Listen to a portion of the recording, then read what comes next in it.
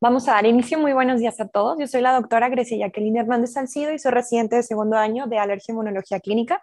El día de hoy agradezco la asesoría de la doctora Natalia Cuño Ortega por su ayuda para la elaboración de esta sesión. En las sesiones previas habíamos estado hablando acerca de las reacciones adversas a medicamentos. A partir de este momento ya vamos a hablar de ciertos medicamentos en específico. El día de hoy vamos a hablar de la hipersensibilidad a quimioterapéuticos. ¿Y por qué es tan importante? Bueno, este tipo de medicamentos tienen más de 60 años que se han utilizado y suelen, estos fármacos suelen ser únicos y esenciales para el tratamiento de la enfermedad, es decir, del cáncer.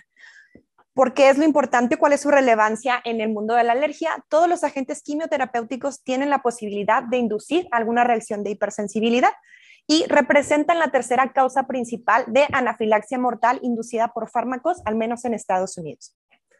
Dentro de las causas principales vamos a encontrar cuatro grupos, que son los platinos, los taxanos, las epipodofilotoxinas, que aquí pertenece el etopósido y el tenipósido, y la asparginasa.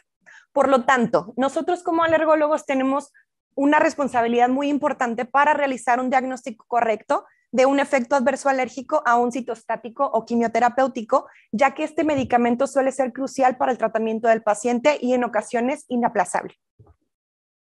Ahora, aquí les pongo una tablita, está muy padre porque aquí podemos ver cuáles son los principales agentes quimioterapéuticos que nos pueden ocasionar las, reacciones de hipersensibilidad. Estos son los cuatro que les mencioné que son los más importantes. De cualquier manera, eh, es relevante que nosotros platiquemos de las demás. En del lado, su lado izquierdo podemos ver los agentes alquilantes. ¿Qué pasa aquí? Sí pueden causar reacciones de hipersensibilidad, pero por lo general van a ser leves. Sin embargo, existe una pequeña posibilidad de que un, grupo de estos pueda llegar a ocasionar reacciones graves en, el paciente. Luego tenemos los antracíclicos, que estos también raramente van a ocasionar una reacción grave. Generalmente se van a, enfocar únicamente a síntomas cutáneos, al igual que los antimetabolitos. Por último, ah, bueno, acá tenemos los inhibidores de la topoisomerasa que solamente en, casos anecdóticos se ha reportado que presenten hipersensibilidad, al igual que los alcaloides de la vinca. Pero vamos a enfocarnos en estos. Uno serían los que vienen de las enzimas bacterianas. Aquí el principal representante sería la asparginasa, que se utiliza principalmente para leucemia linfoblástica aguda, que sabemos que es el cáncer más común hematológico en los niños. Y tiene una incidencia que es elevada del 6 hasta el 40% y puede ocasionar reacciones graves en menos de un 10% de los pacientes que la utilizan. Luego tenemos los disruptores del citoesqueleto, que son los taxanos, principalmente paclitaxel y docetaxel que se utilizan para cáncer de mama, de ovario, de páncreas, de eh, pulmón, próstata, gástrico y cabeza y cuello. Por lo tanto, también representa uno de los grupos más importantes porque sabemos que estos son los cánceres que más van a tener mortalidad a nivel mundial. ¿Y qué pasa? Eh, los taxanos van a tener ciertas características. Una de ellas es que la primera mm, reacción que van a presentar se va a presentar por lo general en la primera o segunda dosis que administremos del medicamento. Y tiene ciertos eh, como síntomas característicos, en este caso, por ejemplo, dolor de pelvis o de espalda.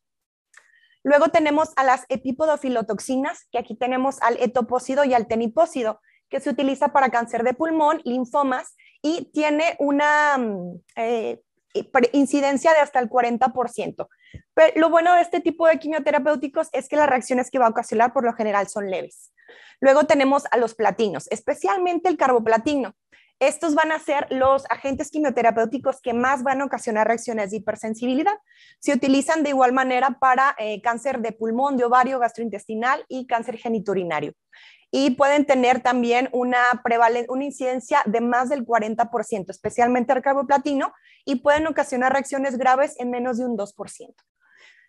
Y bueno, hasta ahí. Ahora, hablando de la epidemiología, de todos los pacientes que reciben quimioterapia, alrededor de un 5% va a presentar una reacción de hipersensibilidad. Y vamos a clasificarla en diferentes categorías, los que son el grupo de potencialidad alta, potencialidad moderada y potencialidad baja. Afortunadamente, únicamente nos tenemos que enfocar en estos que ya habíamos mencionado, platinos, taxanos, asparginasa y epipodofilotoxinas. Ahora, si hablamos de la epidemiología, como les mencioné, los platinos van a ser los agentes que van a causar con mayor frecuencia las reacciones, especialmente el carboplatino. Este es el principal responsable de las reacciones. Su incidencia aumenta con la exposición, alcanzando incluso más de un 46%. Y algo característico, a diferencia de los taxanos, es que los pacientes que reciben platinos van a presentar la reacción por lo menos después del séptimo u octavo ciclo, es decir, no en los primeros. Luego tenemos al oxaliplatino, que puede inducir reacciones de hipersensibilidad alrededor de un 15%, sin embargo, pues no llegan a ser tan severas, únicamente menos del 1%. Y por último, el cisplatino, que es culpable únicamente en el 5% de los casos. Luego tenemos a los taxanos. Estos ocasionan reacciones de hipersensibilidad en un 30%. Y algo muy bueno, o bueno, sí, vaya, bueno de los taxanos es que hasta cierto punto llegan a ser muy nobles, ya que la incidencia puede reducir a menos del 5% si utilizamos una adecuada premedicación. La asparginasa, la incidencia también varía mucho. Ahorita vamos a ver que hay ciertos factores que van a darnos este rango tan elevado que va de un 6 hasta un 43%. En este caso, la incidencia aumenta después de la cuarta dosis. Y por último, las epipodofilotoxinas como el y tenipócido, la incidencia de igual manera varía de un 6.5 a un 41%. Y como mencionamos, el más del 90% de las reacciones van a ser leves. Ahora vamos a hablar de los factores de riesgo. Más que nada, esto va un poquito más enfocado en oncología para pensar cuáles son los pacientes que realmente me podrían ocasionar una reacción de hipersensibilidad. De forma inconsistente se han propuesto diferentes factores de riesgo. Y, como, y vamos a ver que a diferencia de otro tipo de medicamentos, los factores en este tipo de agentes van a ser diferentes. Se ha mencionado que a lo mejor la atopia, eh, reacciones de hipersensibilidad de otro tipo de medicamentos, la edad de los pacientes, el antecedente de mastocitosis o el tipo de cáncer. En la tabla de la derecha podemos ver cuáles realmente sí se han asociado de forma significativa a presentar alguna reacción con estos agentes. La presencia de atopia realmente no se ha asociado, al menos no con taxanos, platinos y asparginasa. La historia de reacción de hipersensibilidad a otras drogas, otros medicamentos, se ha relacionado con taxanos y platinos. La edad en taxanos menos de 70, platinos menos de 60 años, el género únicamente con los platinos. Sin embargo, los platinos se utilizan de forma muy frecuente para el cáncer de ovario. Eso le podría dar ahí un poquito más de factor de riesgo. El tipo de cáncer no es algo tampoco que se haya establecido como factor de riesgo. ¿Cuáles son eh, los medicamentos más comúnmente involucrados? De los taxanos, como mencionamos, paclitaxel y docetaxel. De los platinos, carboplatino y oxaliplatino. Y la asparginasa, la preparación que está hecha en base a la E. coli. Y por último, incrementa la severidad o la gravedad si tuvimos una reacción previa, sí, lo vamos a ver en los tres, sobre todo aquellas que se encuentran mediadas por IG. Ahora, vamos a ver específicamente cuáles son los factores de riesgo que sí están identificados, vaya. Tenemos eh, en los taxanos paclitaxel, docetaxel y, y cabacitaxel. El paclitaxel es el precursor común de los dos. Algo aquí muy interesante es que el problema o lo que va a ocasionar la reacción de hipersensibilidad no es en sí el medicamento, va a ser el vehículo. En caso del paclitaxel tenemos un solubilizante que es el cremofor-L. Este estabilizador está hecho a base de aceite de ricino y se ha visto que es capaz de ocasionar reacciones de hipersensibilidad. Y en caso de docetaxel y cabracitaxel es el polisorbato 80, que de igual manera conocemos que puede ocasionar la reacción, pero en menor grado o con menor severidad que el cremofor-L. Una cosa muy también interesante es que hay algo que se llama napaclitaxel, que es una alternativa. Estas son nanopartículas de paclitaxel que están unidas a albúmina y de cierta manera son menos inmunogénicas. Y se ha visto que incluso si le damos este tipo de medicamento al paciente como una alternativa cuando presentó anafilaxia, ni, ni, siquiera tendríamos que dar premedicación porque es muy poca la cantidad de reacciones de hipersensibilidad que va a cambiar. ¿Cuál es el problema? Pues que es más costoso que el paclitaxel. Ahora, la peculiaridad, se los vuelvo a repetir, de los taxanos es que la aparición de la reacción va a ser en la primera o en la segunda infusión. Eh, hay disminución del riesgo de reacción de exposiciones repetidas. No quiero confundirlos en la otra um, diapositiva, hablábamos de que aumenta la gravedad. Sin embargo, paclitaxel no todos van a ser mediados por IG. Por eso es que en ocasiones no va a seguir aumentando la gravedad. Al contrario, entre más infusiones le apliquen al paciente, menos posibilidad de que vaya a ser una reacción de hipersensibilidad. Ahora, puede haber reacciones índice que son inmediatas, moderadas a graves y estas se van a relacionar con tener eh, pruebas cutáneas positivas. Esto nos habla de que este tipo de reacciones sí son mediadas por IG. Y por último, se observa reactividad cruzada entre paclitaxel y docetaxel, sobre todo en pacientes con CA de mama y ovario. Entonces, si en mi paciente hizo eh, alguna reacción con paclitaxel, existe la posibilidad o sería un factor de riesgo que yo utilice otro taxano como el docetaxel para que me vuelva a hacer la reacción. De los platinos, ya vimos que no existe relación en cuanto a la atopia o la reacción de hipersensibilidad a otro tipo de, de fármacos cuando los comparamos con las sales de platino que es importante su factor de riesgo es que es el medicamento quimioterapéutico más involucrado en las reacciones de hipersensibilidad y aquí sí es muy importante el antecedente de reacciones previas. Tiene un riesgo cuatro veces mayor de reacción de hipersensibilidad si ya la presentó en una ocasión y esta reacción se va a volver más grave conforme sigamos reexponiendo al paciente porque los platinos son los que más van a estar mediados por IG. Ya está sensibilizado, cada que el paciente se vuelve a poner en contacto con este alérgeno, la reacción puede ser más grave. Ahora, hablando de la, gravedad de la reacción, aquí hay como diferencias en cuanto a las opiniones de los autores, porque algunos dicen que la gravedad de la reacción inicial pareciera no predecir una verdadera reacción de hipersensibilidad. Pero hay otros autores que nos dicen que si el paciente se presentó con un cambio en la presión arterial, sobre todo hipotensión, tuvo afectación eh, cardiovascular, es un muy buen eh, predictor clínico para decir que es una reacción grave y que se va a seguir presentando. También los síntomas cutáneos o gastrointestinales se han relacionado con un mayor riesgo de tener una reacción de hipersensibilidad en el futuro. Aquí, número de aplicaciones, aquí sí va a ser importante, a diferencia del paclitaxel, ya que si nosotros tenemos un régimen repetido de más de 12 meses utilizando el carboplatino, hay un mayor riesgo de hipersensibilidad. También un factor de riesgo para las pacientes con cáncer de mama son aquellas portadores de las mutaciones BCRA1 y 2 ya que estas tienen más riesgo de tener una reacción al carboplatino. Entonces, si ya las tienen identificadas, sabemos que pueden ser ellas. Y por último, los factores de riesgo durante la desensibilización. El problema con los platinos, como les mencioné, es que están mediadas por IgE. Por lo tanto, si tiene una prueba cutánea positivo, para mí es un factor predictor de que si le realizo una desensibilización, mi paciente puede presentar una reacción durante la misma.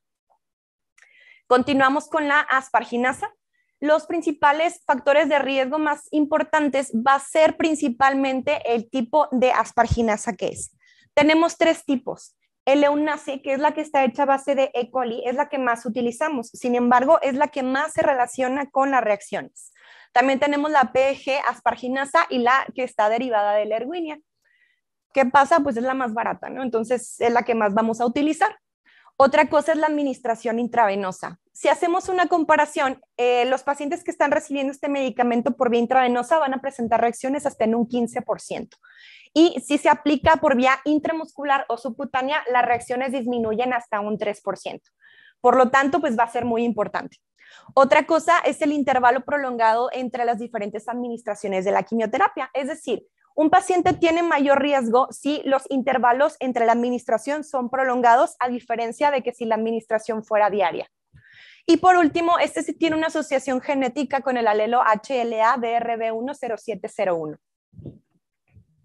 En cuanto al etopósido y al tenipósido, aquí sí es importante el tipo de cáncer, ya que se ha visto que en los pacientes con neuroblastoma la incidencia va a aumentar hasta un 13%. Estos pacientes generalmente reaccionan en la primera o en la segunda exposición al medicamento y es más común que lo presenten con tenipósido.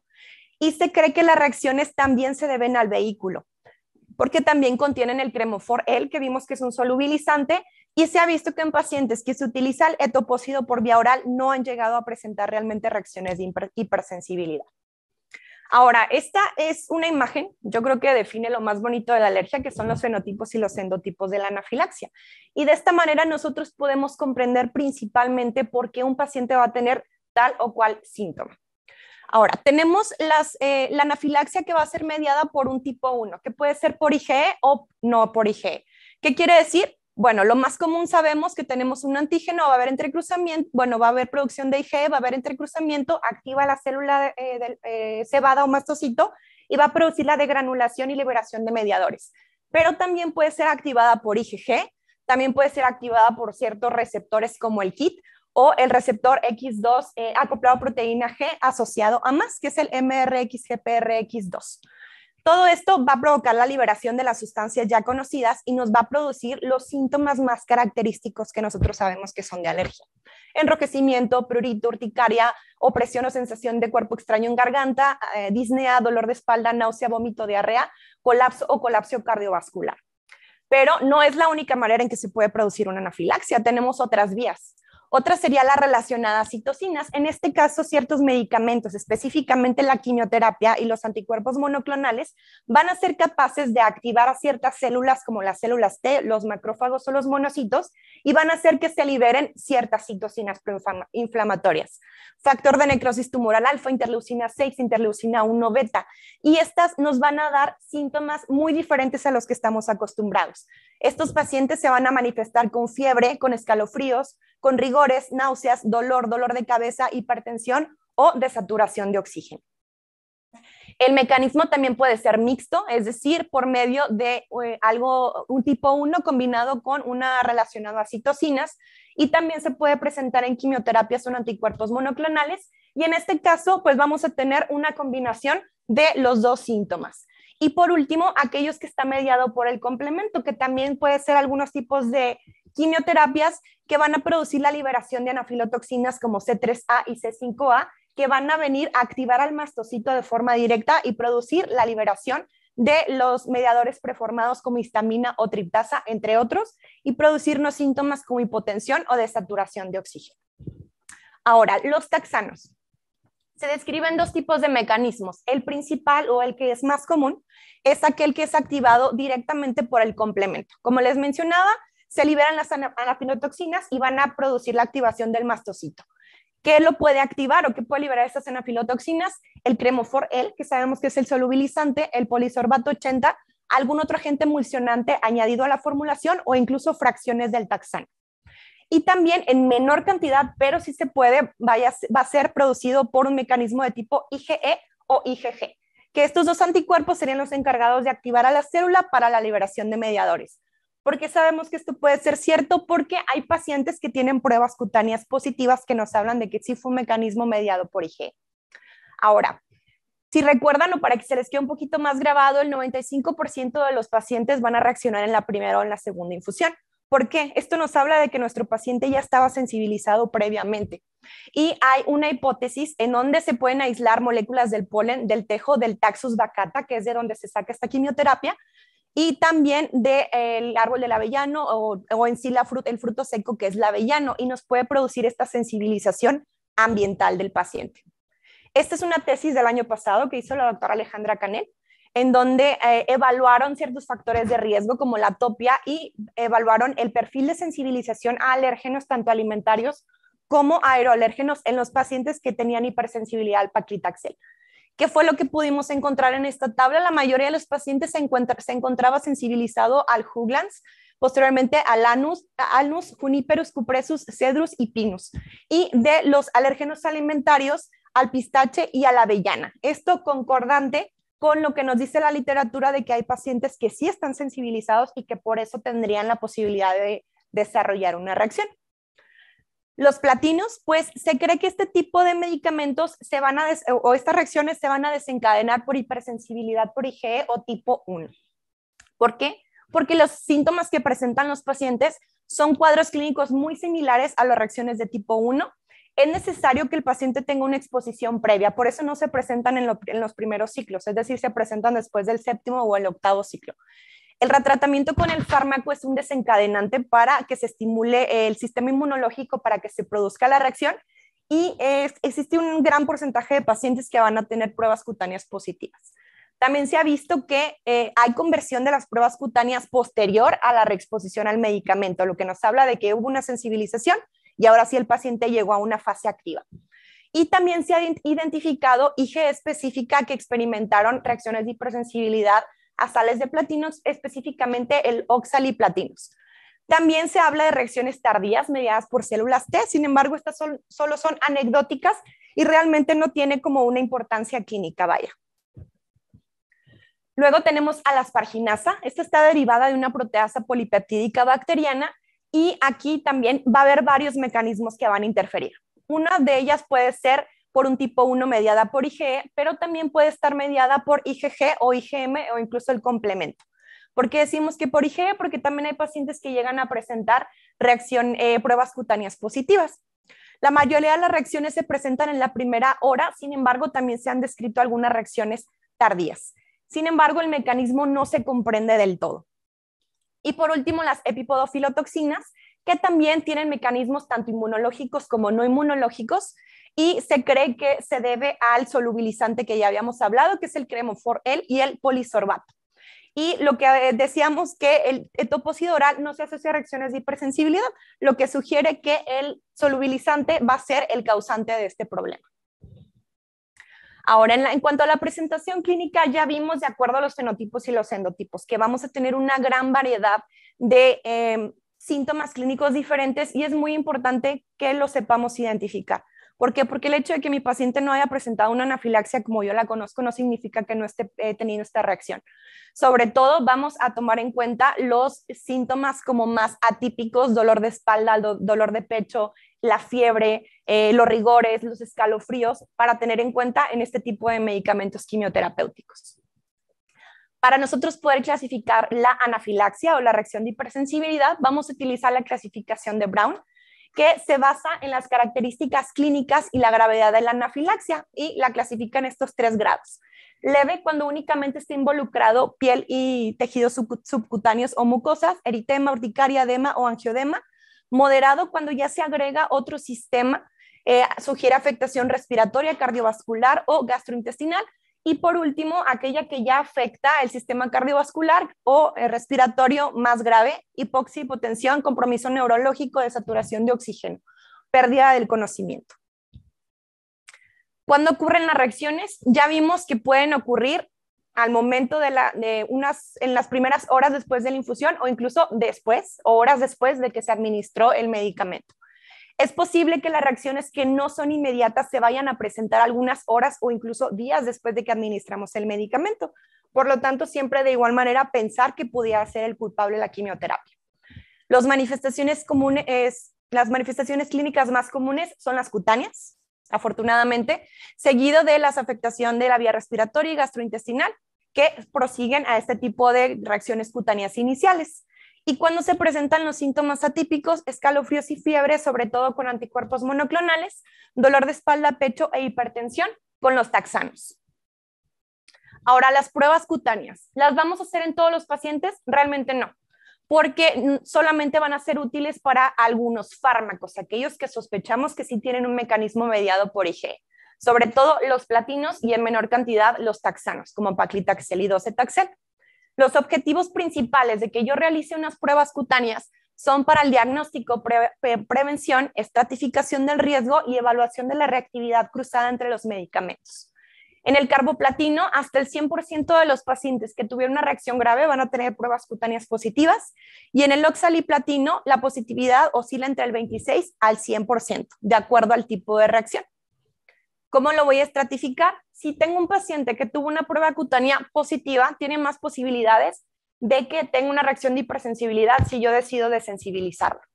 Y en cuanto a la evaluación cruzada, puede ocurrir principalmente con medicamentos que son parte de los platinos. Se han descrito reacciones graves a cisplatino y oxaliplatino en un paciente que me presentó reacción a carboplatino. Es decir, en algún momento mi paciente tuvo carboplatino y después yo se lo quiero cambiar por otro, existe la posibilidad de que vaya a ser la misma reacción grave. Y algo interesante es que la reactividad es muy baja del cisplatino con otras sales del platino, lo que nos daría la posibilidad de utilizar este tipo de medicamento en caso de que fuera necesario. ¿Cuándo voy a realizar las pruebas? Lo ideal es que sea de cuatro a seis semanas después de que el paciente haya presentado la reacción alérgica. Y en este cuadro de la derecha les pongo cuáles son las diluciones óptimas eh, a las concentraciones no irritantes por si en algún momento alguien quisiera realizar una desensibilización. En realidad las prick test, ya ven que siempre las hacemos como uno a uno, únicamente paclitaxel está sugerida que se haga uno en 10 y por lo general las intradérmicas uno en 100 y uno en 10, a diferencia del paclitaxel que también recomienda empezar con una dilución de uno en 1000. Prueba de provocación de fármacos. Sabemos que como todo en la alergia, esta va a ser el estándar de oro. Es una herramienta útil para descartar la hipersensibilidad en pacientes que reciben o están recibiendo más de una quimioterapia. También para confirmar eh, la tolerancia a fármacos alternativos con reacción cruzada y eh, también para evitarle al paciente someterlo a una desensibilización si realmente no es hipersensible o no está sensibilizado. ¿Cuál es el problema? Como siempre, los riesgos inherentes a realizar un tipo de, este tipo de pruebas. Y por último, es que no existe estandarización universal en cuanto a un protocolo que nos diga vas a hacer la prueba de esta manera. Pruebas in vitro, tenemos la IG específica, pero solamente se ha reportado casi todo para los platinos, específicamente el oxaliplatino. Aquí tenemos varios estudios, cada uno de los cuadritos. En el primero vemos especificidades muy altas, es decir, sí me detecta enfermos, pero la sensibilización, sensibilidad, perdón, es baja. En este estudio, de igual manera, 75-75, en este estudio del oxaliplatino, 51 contra 71, y solamente hay un estudio que habla de la IG específica para carboplatino, que de igual manera le da sensibilidad y especificidad del 75%. Para los taxanos solamente hay un caso de IG específica reportada para alguno de ellos. Por lo tanto, unas pruebas cutáneas positivas y una IG específica positiva sería una muy buena herramienta diagnóstica para yo saber que mi paciente tiene una hipersensibilidad a los platinos. Otra prueba in vitro puede ser la triptasa sérica. Eh, los pacientes que han tenido reacciones a carboplatino han mostrado elevaciones elevadas en cuanto a la concentración de la triptasa también se ha visto en, reacciones que no son mediadas por IgE, es decir, en aquellos pacientes que tienen pruebas cutáneas negativas, específicamente en los taxanos y en los anticuerpos monoclonales. ¿Cuál sería la relevancia para que yo tome una triptasa? Principalmente para determinar el mecanismo de reacción de hipersensibilidad. Porque si yo tengo una triptasa elevada, me está hablando de que sí hubo una activación del mastocito basófilo para que se, se degranularan este tipo de mediadores. Y de esta manera me puede ayudar a determinar la indicación para saber si desensibilizar a mi paciente está correcto o no. Y existen otros marcadores que también podríamos utilizar, vaya, es mucho más difícil, pero también se pudieran tomar niveles de interferón gamma, interleucina 6, interleucina 8, interleucina 10, porque son las principales citocinas que van a participar en esta tormenta, que también me podrían hablar de otro tipo de mecanismo de anafilaxia de los quimioterapéuticos. Otra es la prueba de activación de basófilos. Esta únicamente se ha utilizado como herramienta diagnóstica para los platinos, sin embargo, en casos bastante limitados. Ahora, el enfoque terapéutico. Como alergólogos, la verdad es que no vamos a estar presentes cuando se den las reacciones iniciales, ya que este tipo de reacciones generalmente se van a dar en los entornos de oncologías o en clínicas ambulatorias pero vamos a recibir la llamada de que el paciente está presentando ciertos síntomas. ¿Cuál es nuestro papel fundamental? Liderar una colaboración institucional multidisciplinaria para el adecuado manejo de este tipo de pacientes que son de alta complejidad. Es decir, mantener un vínculo con estos pacientes para nosotros eh, capacitarlos para que se detecten este tipo de reacciones de hipersensibilidad. El abordaje terapéutico va a ser hacer uso de herramientas específicas para que podamos clasificar al paciente. ¿Cómo lo vamos a hacer? con estas herramientas o diagnóstico in vitro y in vivo. Y el empoderamiento del paciente, ¿cómo vamos a hacer sentir al paciente seguro? Principalmente con las indicaciones que nos dé el oncólogo de cuál sería la quimioterapia más adecuada para él y la evaluación por parte de nosotros acerca del riesgo de darle o no ese tipo de quimioterapia. Bueno, esto también es muy interesante. Si yo ya tuve una reacción de hipersensibilidad a la quimioterapia, ¿qué puedo hacer? Uno, lo premedico. Dos, lo desensibilizo. O tres, cambio por una alternativa. Desde el inicio, si existe la posibilidad de cambiar el medicamento, me iría por esta primera opción. Si no, nos iríamos después a las premedicaciones, que si bien no me va a prevenir una anafilaxia, sí va a disminuir la gravedad de la reacción, sobre todo con los taxanos. Este es un estudio que evaluó pacientes que no se les dio premedicación, en donde el porcentaje de reacciones iba de un 25 a un 42%, a diferencia de pacientes que sí se premedicaron, que esta prevalencia disminuye del 10 al 20% de los pacientes y mucho más importante, que las reacciones graves se reducen del 2 al 4%. ¿De qué me habla esto? De que la premedicación sí tiene un papel muy importante para prevenir y reducir las reacciones de hipersensibilidad. ¿Qué medicamentos voy a utilizar? Antihistamínicos, corticosteroides y líquidos intravenosos. Broncodilatador y oxígeno sería principalmente para tratar los síntomas que ya se producían. Ok, eh, la vez pasada hablábamos de qué tipo de medicamentos se van a utilizar como premedicación, porque normalmente estamos acostumbrados a únicamente utilizar antihistamínicos o corticosteroides. ¿Cuál sería el papel de los antihistamínicos? Inhibir al H1 o al H2. Principalmente, pues, inhibir las funciones de la histamina, que podría ser disminuir o inhibir la contracción del músculo liso respiratorio o gastrointestinal, disminuir la vasodilatación periférica y la permeabilidad vascular. En el caso de los corticosteroides, estos tienen la capacidad de inhibir las principales funciones de muchas de las células inmunológicas y de esta manera hacer que no se dé esta cascada proinflamatoria. Luego también tenemos los antileucotrienos que sabemos que nos van a bloquear la producción de este tipo de mediadores que están involucrados sobre todo en la producción de síntomas respiratorios. Aquí tenemos montelukast, afirlukast, entre otros. También tenemos el uso de líquidos intravenosos. Esto principalmente sería para disminuir o diluir la cantidad de antígeno que se encuentra circulante en el paciente. También mejora la diuresis y por ende la depuración del medicamento. Y por último, los AINES. ¿Por qué? Porque sabemos que las prostaglandinas eh, pertenecen al mecanismo de los lípidos que son, eh, están basados en la cascada del ácido araquidónico mediada por la ciclooxigenasa, ya sea COX-1 o COX-2. Vamos a tener como producción final las prostaglandinas. Y utilizando AINES, pues bloquearíamos esta cascada para que no se dé toda la cascada de la inflamación. Sin embargo, también las prostaglandinas se podrían em, o se pueden liberar a través de la activación de los mastocitos como mediadores formadores de nodo. La premedicación para las taxanos específicamente, si nos hablan y nos dicen, bueno, ¿cómo puedes premedicar a mi paciente que ya, realizó, ya tuvo una reacción?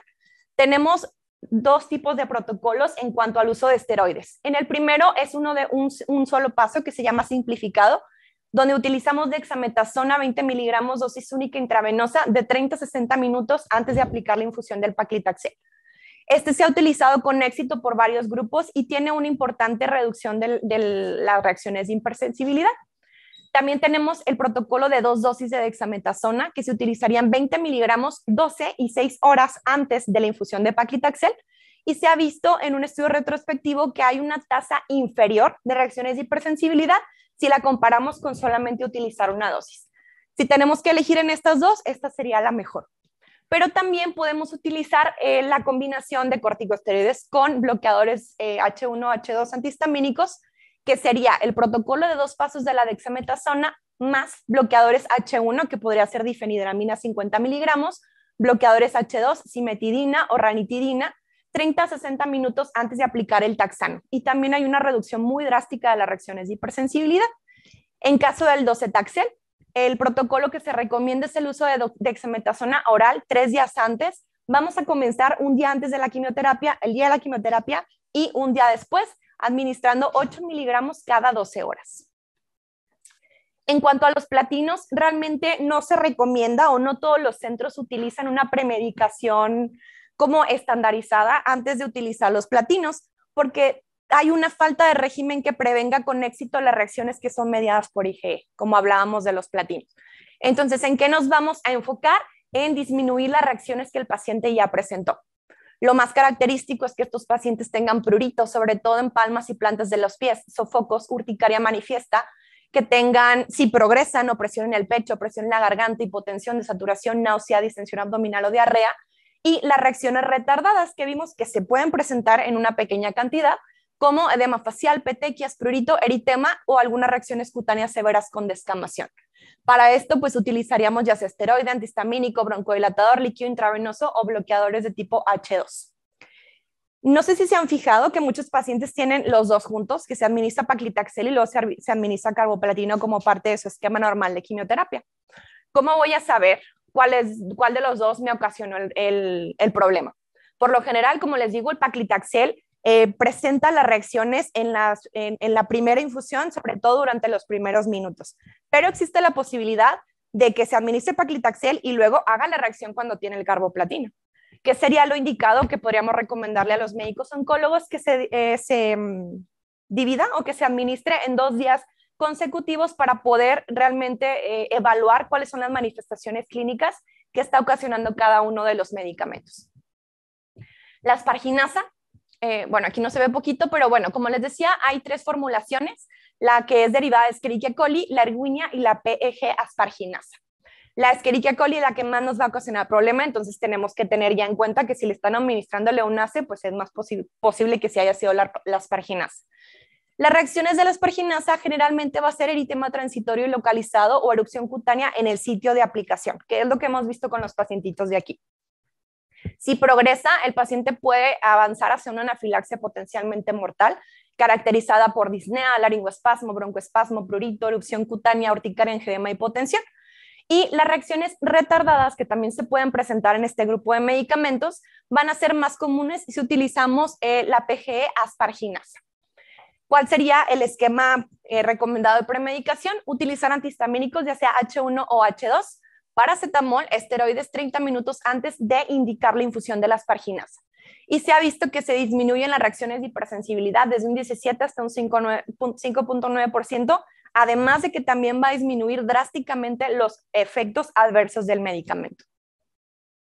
En cuanto a las epipodofilotoxinas, el tiempo en que se presenta la reacción puede variar, puede ocurrir eh, desde que se hayan infundido algunos pocos miligramos hasta incluso horas después de que ya se administró el medicamento. Las reacciones más comunes, angioedema, malestar torácico, broncoespasmo o hipotensión, y también se pueden darle una premedicación con el uso de glucocorticoides antihistamínicos. Podemos disminuir la velocidad de la infusión y em, si tenemos como alguna reacción que sea compatible con estos síntomas que acabamos de ver. Ahora, ¿cuáles son los mejores antihistamínicos o qué me recomendarían utilizar? ¿Qué recomendaríamos utilizar en el paciente? En el artículo nos dice que los más utilizados son la difenidramina, la cetiricina, la famotidina y la ranitidina.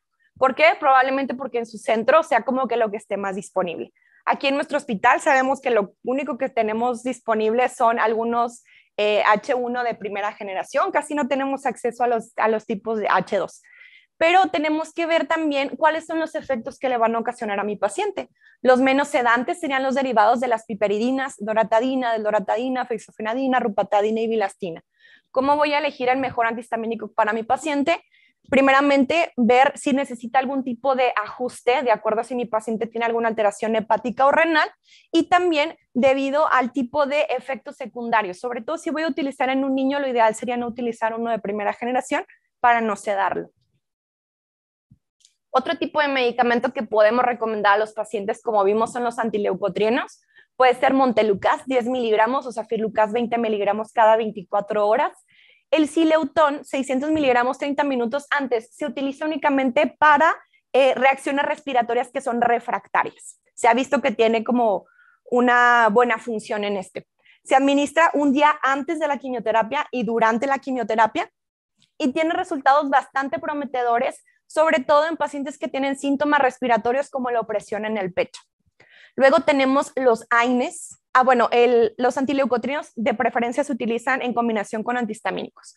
Luego, los AINES podemos utilizar ácido acetil salicílico, ibuprofeno, ketorolaco, y sobre todo si los combinamos con el montelukast, vamos a asegurarnos de que se bloquee la vía del ácido araquidónico y nos va a prevenir ciertos síntomas específicos como los sofocos.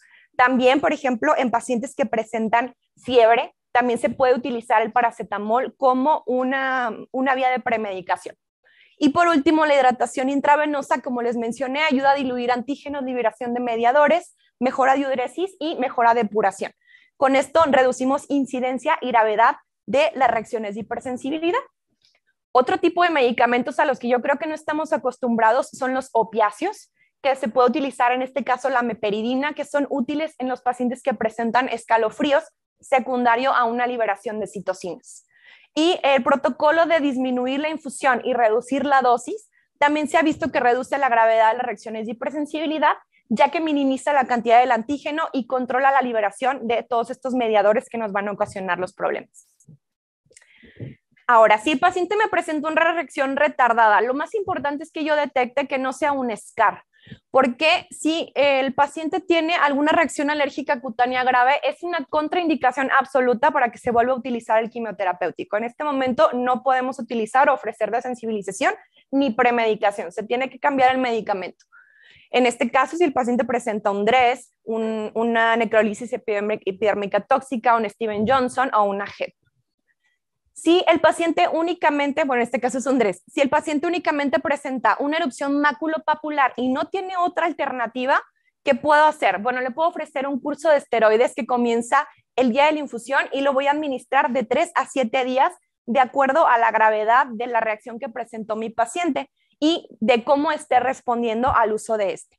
También se puede utilizar esta pequeña dosis de esteroide como premedicación para permitir la reexposición al mismo agente. Es decir, ya le quiero completar la dosis que está teniendo, pero se lo quiero volver a poner, lo premedico con corticosteroides. Si mi paciente ya lo clasifiqué y tuvo una reacción con síntomas leves a moderados, lo primero que voy a hacer, como en todas las reacciones, va a ser evaluar o hacer el ABC, evaluar respiración, eh, vías respiratorias y circulación. En caso de que mi paciente esté bien, puedo pensar en reiniciar la infusión eh, después de que ya resolví el tratamiento sintomático. Si mi paciente únicamente presentó un rash, le doy un antihistamínico, mejora y puedo pensar en, reanudarlo. Sobre todo esto pasa con los taxanos. Y únicamente podríamos recomendar que la velocidad de infusión sea más lenta.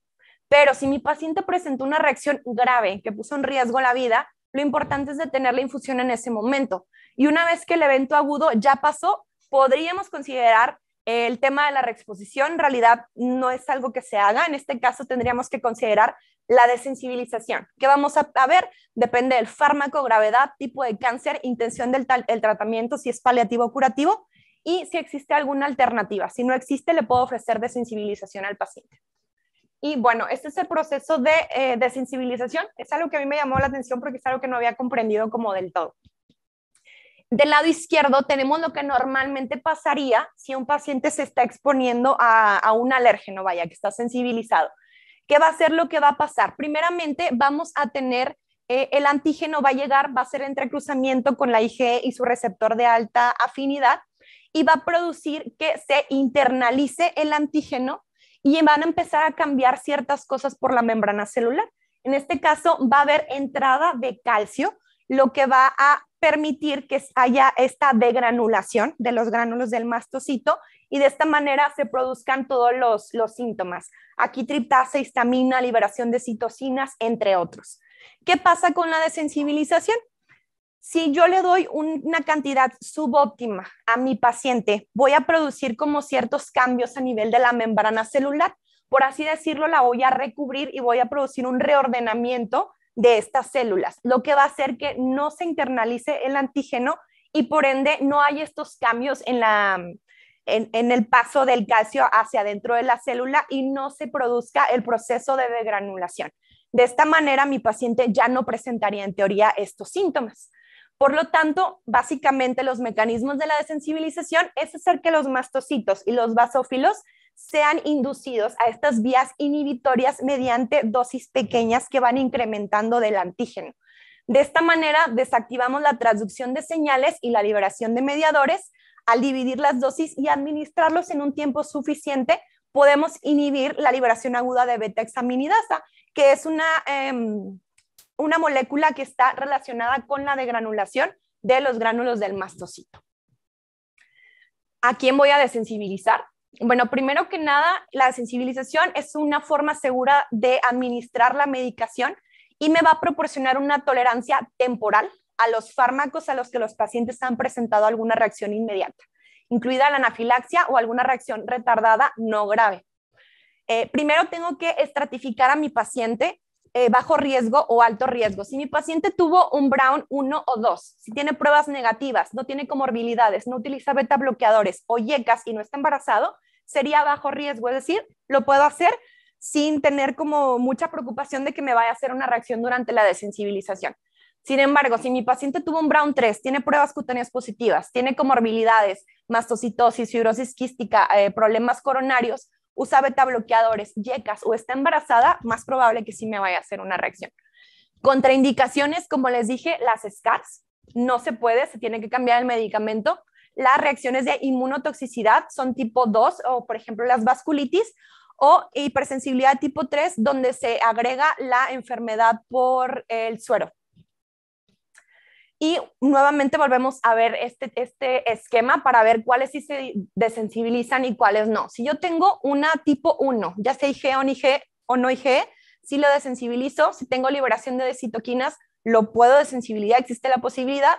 Si es mixto, también las de complemento no se desensibilizan y las reacciones retardadas, dependiendo. Únicamente voy a excluir las SCARS. Si es un exantema máculo popular, lo puedo desensibilizar.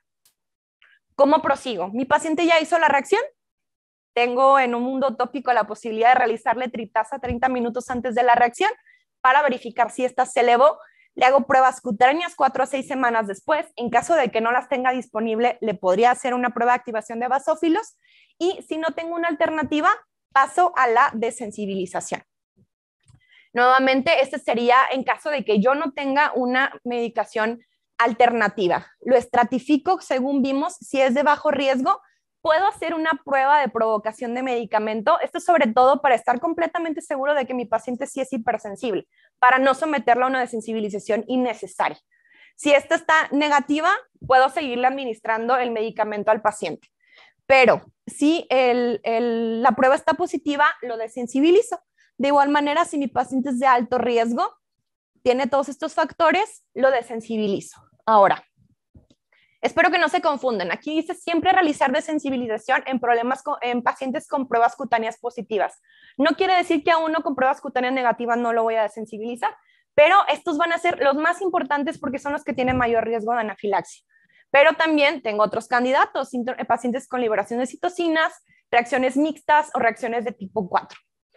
Eh, necesitaría premedicar a mi paciente para la desensibilización. Es un protocolo, es necesario. Antihistamínicos si mi paciente hizo síntomas cutáneos. Eh, aspirina con montelukast para prevenir broncoespasmo. El uso de esteroides, eh, AINES o opioides si tiene síntomas sistémicos como escalofríos, fiebre y dolor. Y hay algunos pequeños casos donde se ha administrado incluso el omalizumab. Y si a pesar de la premedicación mi paciente tiene reacciones, pues claro que puede pasar. ¿Qué voy a hacer? ¿Qué es lo que nos pasa aquí? Bueno, que nos ha llegado a pasar. Lo primero, si les hablan y el paciente está presentando una reacción, ¿qué es lo que voy a hacer? Primeramente, pausar la desensibilización y tratar los síntomas de mi paciente. De igual manera, si tuvo prurito urticaria, antihistamínico. Si tuvo broncoespasmo, esteroide, oxígeno, eh, Montelucas. Si tuvo broncoespasmo, también le puedo dar, eh, bueno, lo mismo, si tuvo flushing, puedo utilizar la aspirina. Si tiene fiebre, puedo utilizar el paracetamol. Si tuvo hipotensión, la epinefrina, el uso de eh, líquidos intravenosos. Y, bueno, si se resuelve el 80% de los síntomas, mi paciente yo puedo reiniciar la infusión de la desensibilización. Si no resolvieron, pues tengo que parar ahí. Y si las reacciones persisten, puedo evaluar si le bajo la velocidad de infusión o reduzco la dosis que le estoy administrando a mi paciente. Como conclusiones, este es un cuadrito donde viene absolutamente todo lo que tenemos que saber. ¿Cuáles son los principales medicamentos? Paclitaxel, docetaxel, carboplatino, cisplatino, oxaliplatino, esparginasa y tenipósido. Los que se van a presentar con más frecuencia, carboplatino en un 8 a 46%, L-esparginasa en un 6 a 43%. Principalmente los causantes de la reacción van a ser los vehículos, el polietilenglicol, el polisorbato y el cremofor cuáles son las reacciones cruzadas que tengo que tener en cuenta en mi paciente para recomendar un medicamento alternativo y cuáles serían las eh, posibilidades terapéuticas que yo le pudiera ofrecer a mi paciente. Para finalizar, como conclusiones personales, la alergia a medicamentos es un, es un problema de salud creciente que ha incrementado en las últimas décadas y va a afectar tanto a niños como a adultos. Aquí es muy importante porque el cáncer es la enfermedad con mayor mortalidad a nivel mundial y resulta imperativo que nosotros como alergólogos tengamos un posicionamiento ante la hipersensibilidad a quimioterapéuticos. Este es un mapa de la incidencia de cáncer en el mundo. Todos aquí tenemos familiares, amigos que lo han tenido. Por lo tanto, es uno de los temas más importantes que tenemos que dominar hacer un diagnóstico correcto al reconocer los síntomas atípicos de la anafilaxia nos va a permitir implementar una terapia optimizada y ofrecer un buen eh, tratamiento alternativo para mi paciente. Y por último, que me parece muy importante, es que los médicos oncólogos, hematólogos y pediatras deben adquirir esta competencia para poder detectar de forma oportuna cuáles son las reacciones de hipersensibilidad más comunes a la quimioterapia para que de esta manera podamos trabajar junto con ellos. Y eso sería todo por mi parte. Muchas gracias.